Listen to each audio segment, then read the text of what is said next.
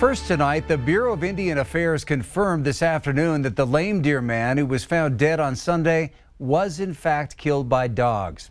According to the news release, the preliminary autopsy determined the cause of death of Duke Little Whirlwind was an attack by canines with drugs and alcohol as contributing factors. The family of Little Whirlwind told MTN News yesterday that a pack of dogs killed the 58 year old and that it's part of a disturbing trend plaguing their community.